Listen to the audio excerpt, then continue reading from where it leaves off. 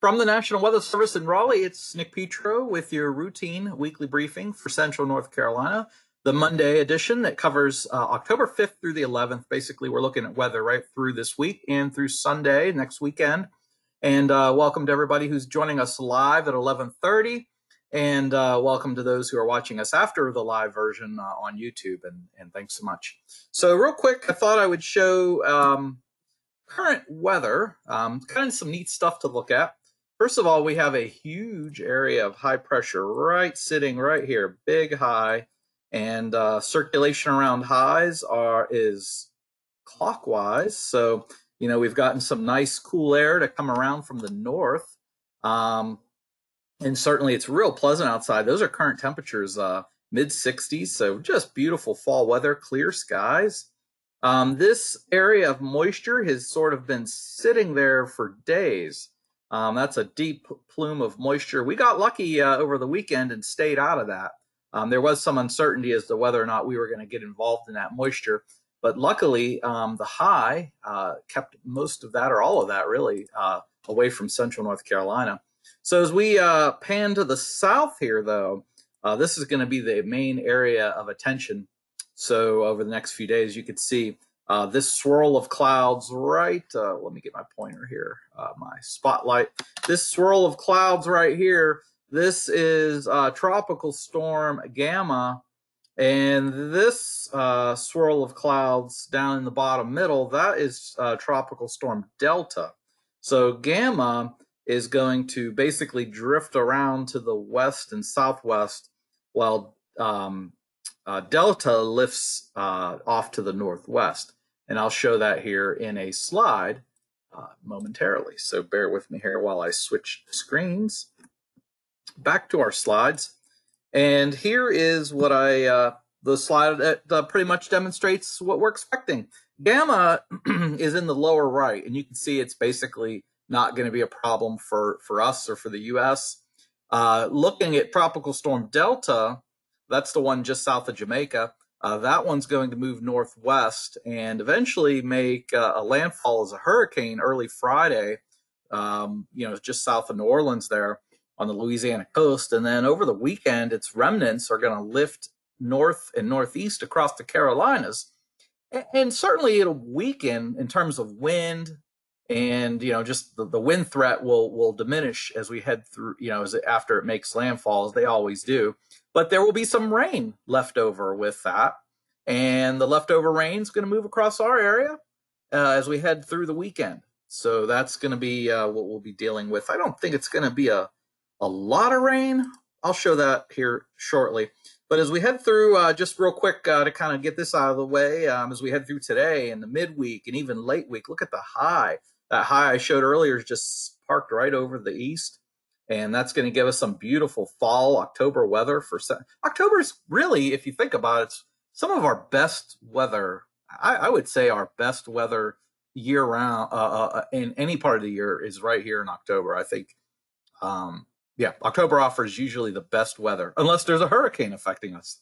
so, so usually what October gives us is either beautiful weather comfortable weather or hurricanes. So, uh, uh, but uh, but and, and, we'll get a taste of uh, a little bit of both beautiful weather and tropical weather, although not a hurricane, but still some tropical weather as the remnants and leftover rain from Delta overspread central North Carolina over the weekend. And right now, it looks like mainly occasional periods of rain.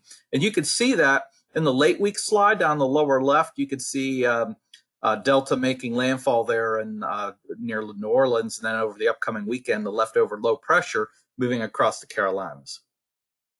So in terms of temperatures, they'll start off near normal today. Like I said, right now we're in the mid 60s, low to mid 60s, real comfortable out there. Uh, gradually rising to above normal as that high shifts right over and eventually to our south and east.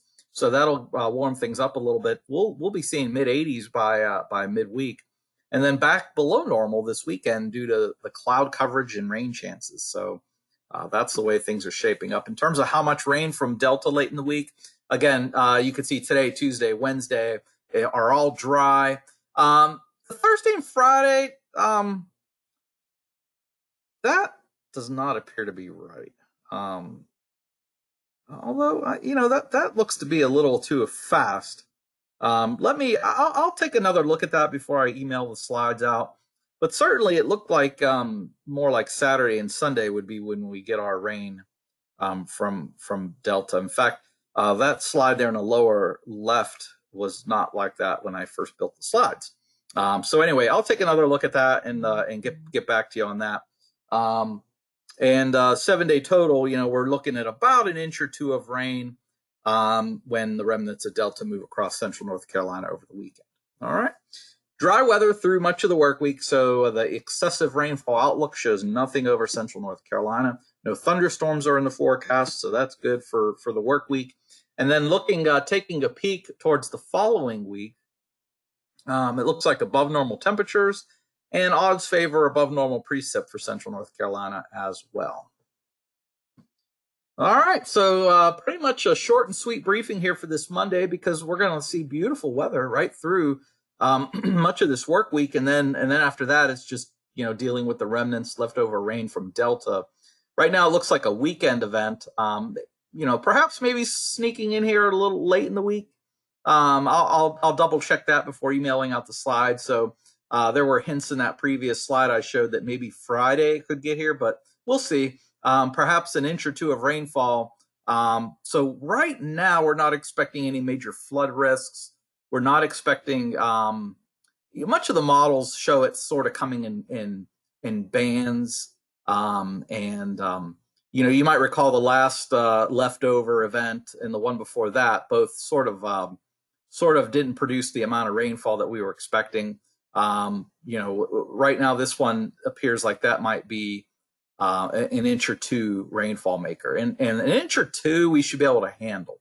It's when we get above three that we start to see risks in terms of you know uh, flash flooding and or subsequent river flooding. So obviously we'll keep an eye on that, and you'll want to join us on Thursday for our uh, Thursday update. Uh, right here, same time, same place, 11:30, because obviously uh, it'll be on our doorstep by Thursday, and we'll be uh, addressing uh, how much rain and, and what, if any, impacts we will have to deal with. All right, so again, uh, temperatures are going to warm up uh, midweek and then fall back again as the rain comes late in the week and weekend.